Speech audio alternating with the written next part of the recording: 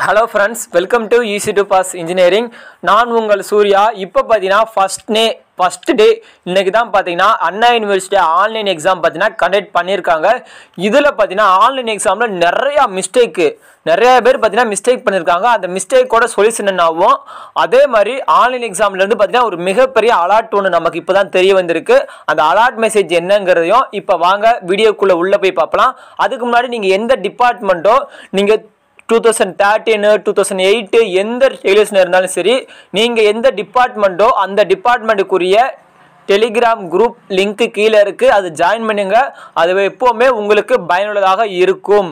உங்களுக்கு வேறு ஏதாவது டவுட் இருந்துச்சுன்னா கீழே இன்ஸ்டாகிராம் ஐடி இருக்குது அதுக்கு ஃபாலோ பண்ணி உங்களோட டவுட்டை கேட்கலாம். இப்போ வாங்க அது என்னங்கிறத பார்க்கலாம்.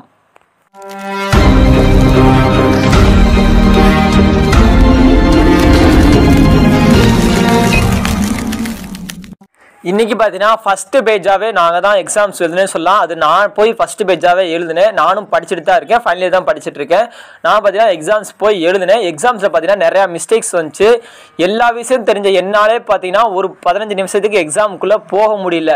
அவ்வளோவுக்கு ஸ்ட்ரைக் ஆகுது.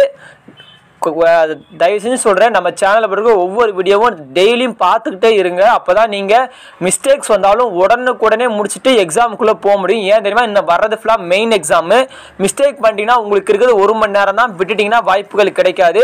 டெய்லியும் வீடியோ பாருங்கள் நம்ம ஒவ்வொன்றும் பார்த்தீங்கன்னா இம்பார்ட்டண்டாக தான் சொல்லிட்டு இருக்கோம். எந்த ஒரு அனவசியமான விஷயம் சொல்லவே இல்லை. இம்பார்ட்டண்டாக சொல்லுவோம். இப்போ வாங்க இம்பார்ட்டண்ட்டாக பார்ப்போம். அதாவது பார்த்தீங்கன்னா பதினஞ்சு நிமிஷம் கன்ஃபார்மாக உள்ளே இருந்தால் போதும் சொல்லியிருந்தோம் பார்த்தீங்களா? அதை கொஞ்சம் சேஞ்ச் பண்ணிக்கோங்க. நீங்கள் பதினஞ்சு நிமிஷம் உள்ளே இருந்தால் போதும் எண்டு டெஸ்ட் கொடுத்து வெளியில் வந்துடலாம் ஆனால் இப்போ என்ன பண்ணியிருக்காங்கன்னா பதினஞ்சு நிமிஷம் உள்ளே இருந்து எண்ட் டெஸ்ட் கொடுத்து வெளியில் வந்துட்டிங்கன்னா உங்களுக்கு வெரிஃபைடு பார்த்தீங்கன்னா ஆக மாட்டேங்குது. நீங்கள் என்ன பண்ணணும் பார்த்தீங்கன்னா எக்ஸாம்ஸ் அதாவது பார்த்தீங்கன்னா ஒன் ஹவர் கொடுத்துருக்காங்கன்னா உங்களுக்கு வெரிஃபைடுன்னு பார்த்தீங்கன்னா மெசேஜ் ஒரு நல்லா தெரிஞ்சுக்கோங்க. உங்களுக்கு உங்களுக்காண்டி கண்காணிக்கப்படுற ஸ்டாஃப் பார்த்தீங்கன்னா இப்போ இருபது ஸ்டூடெண்ட்டுக்கு ஒரு ஸ்டாஃப்னு போட்டிருப்பாங்க. அந்த ஸ்டாஃப் பார்த்தீங்கன்னா நீங்கள் எந்த வித மால் ப்ராக்டிஸும் பண்ணலைன்னா உங்களுக்கு வெரிஃபைடுன்னு சைன் பார்த்தீங்கன்னா உங்களுக்கு மெசேஜ் அனு வரும். அந்த மெசேஜ் பாக்ஸில் மெசேஜ் தானாகவே ஓப்பன் ஆகி வந்துடும் அதில் பார்த்தீங்கன்னா வெரிஃபைடுன்னு இருக்கும். அந்த வெரிஃபைடுன்னு வர்ற வரைக்கும் வெயிட் பண்ணுங்கள் அதுக்கு இடையில யாரும் எக்ஸாம்ஸை கட் பண்ணிவிட்டு வந்துடாதீங்க மறுபடியும் சொல்கிறேன் எக்ஸாம்ஸ்க்கு உள்ளே போயிட்டு எக்ஸாம்ஸ் அட்டன் பண்ணி முடிச்சுட்டு எல்லா கொஸ்டினும் முடிச்சுட்டா கூட வெயிட் பண்ணுங்கள் வெரிஃபைடுன்னு உங்கள் ஸ்டாஃப்ட்ட இருந்து உங்களுக்காட்டி போடப்பட்ட ஸ்டாஃப்ட்ட இருந்து வெரிஃபைடுன்னு சைன் வரும். வெரிஃபைடுன்னு வந்ததுக்கு அப்புறம் நீங்கள் எண்டு டெஸ்ட் கொடுத்து வெளியில் வாங்க. அதுக்கு முன்னாடியே எண்டு டெஸ்ட் கொடுத்து வெளியில் வந்தீங்கன்னா ஏதாவது ப்ராப்ளம் ஆகுமான்னு கேட்டிங்கன்னா இது வரைக்கும் தெரியலை பட் நான் அது டீட்டெயிலாக கால் பண்ணி கேட்டுட்டு சொல்கிறேன் ஆனால் பெரும்பாலும் இனிமேல் எக்ஸாம்ஸ் எழுத போகிறவங்க எண்டு டெஸ்ட் கொடுக்கறதுக்கு முன்னாடி உங்களுக்கு வெரிஃபைடுன்னு வந்துருச்சா பாருங்கள் வெரிஃபைடுன்னு வந்தால் மட்டும் எண்டு டெஸ்ட் கொடுத்துட்டு வந்துருங்க. இதில் நிறையா ப்ராப்ளங்கள் சந்திச்சாங்க. வாங்க ஒவ்வொரு ப்ராப்ளமும் பார்க்கலாம். ஃபஸ்ட்டு பார்த்தீங்கன்னா நானே இப்போ நானே எடுத்துக்கிறேன். ஃபஸ்ட்டு பார்த்தீங்கன்னா மார்க் டெஸ்ட் எழுதும்போது எந்த வித ப்ராப்ளம் வரல. ஆனால் எக்ஸாம்ஸ் எழுதும்போது எனக்கு வந்த ப்ராப்ளம் என்னன்னு பார்த்தீங்கன்னா கொஸ்டின் உள்ளே போயிடுச்சு இன்ஸ்ட்ரக்ஷன் மட்டும்தான் நிற்குது இன்ஸ்ட்ரக்ஷனுக்கு அப்புறம் நெக்ஸ்ட் பேஜ் போக மாட்டேங்குது. இன்ஸ்ட்ரக்ஷனில் பார்த்தீங்கன்னா பத்து நிமிஷம் பார்த்தீங்கன்னா வெயிட் பண்ணேன். கிட்டத்தட்ட பார்த்தீங்கன்னா நான் எட்டு மணிக்கு எக்ஸாமு ஏழு ஐம்பதுக்கு உள்ளே போயிட்டேன். ஏழு ஐம்பதுலேருந்து எட்டு மணி வரைக்கும் வெயிட் பண்ணேன். பட் மறுபடியும் வரலை. இன்ஸ்ட்ரக்ஷனுக்கு அப்புறம் மறுபடியும் மூவ் ஆகலை. மறுபடியும் நான் வெளியில் வந்துட்டு டோட்டல் நல்லா தெரிஞ்சுக்கோங்க. டோட்டலாக வெளியில் வந்துருங்க. உங்களுக்கு எதுவுமே வரலன்னா தயவுசெஞ்சு டோட்டலாக வெளியில் வந்துட்டு மறுபடியும் ஃபர்ஸ்ட்லருந்து போங்க.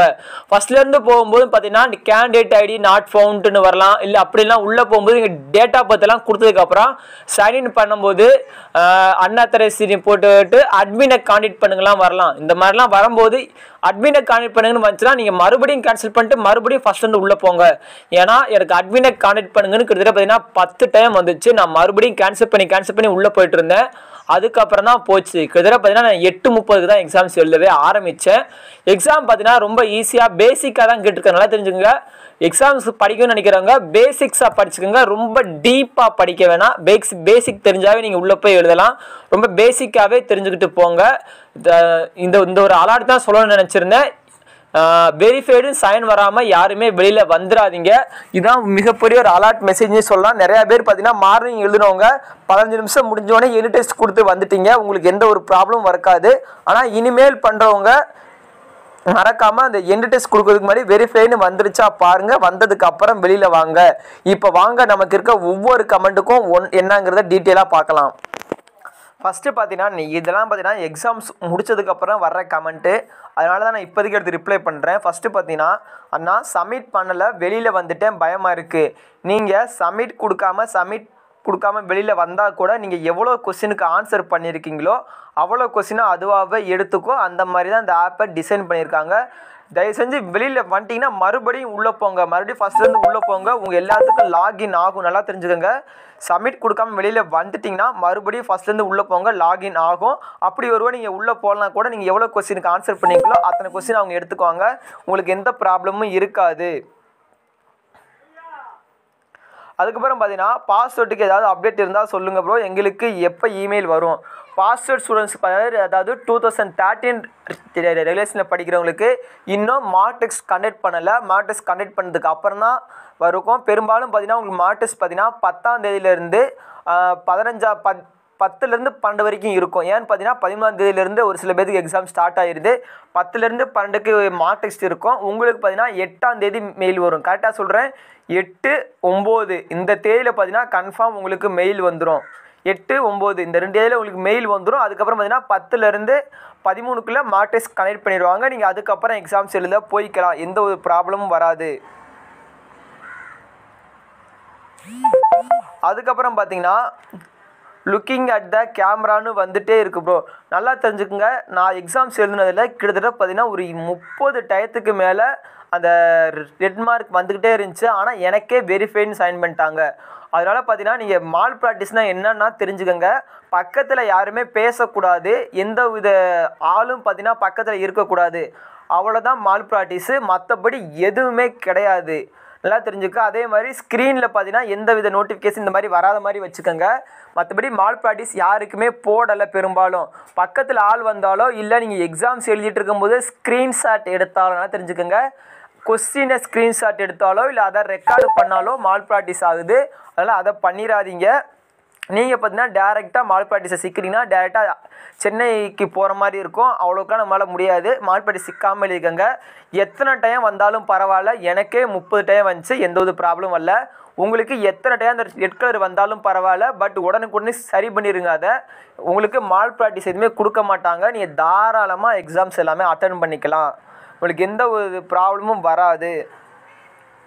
ஃபேன் போடலாமா? தாராளமாக ஃபேன் போட்டுக்கலாம். ஆனால் சவுண்ட் பார்த்தீங்கன்னா என்ன சொல்கிறது ரொம்ப ஸ்பீடாக வைக்காமல் சவுண்ட் வராத மாதிரி ஸ்லோவாக வச்சுக்கோங்க. எந்த ஒரு ப்ராப்ளமும் இல்லை நான் ஃபேன் ஃபேன் போட்டு தான் எழுதுனேன். எந்த ஒரு பிரச்சனையும் வரலை. ஃபேன் போட்டுக்கலாம். எந்த ஒரு ப்ராப்ளமும் வராது.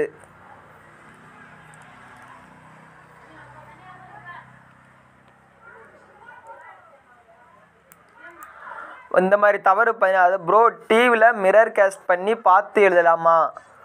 அது ரொம்ப மிஸ்டேக்கு நீங்கள் பண்ணும்போது பார்த்தீங்கன்னா கண்ணாடியில் டிவியில் இருக்குது பார்த்தீங்கன்னா மறுபடியும் உங்களுக்கு ரிஃப்ளெக்ட் ஆகும். அதை அவங்க பார்த்துட்டாங்கன்னா அவங்க மால் ப்ராக்டிஸர் தான் புக் பண்ணுவாங்க. நல்லா தெரிஞ்சுக்கோங்க. நீங்கள் தாராளமாக போய் எழுதுங்க. சும்மா பேசிக்காக படிச்சுட்டு போங்க.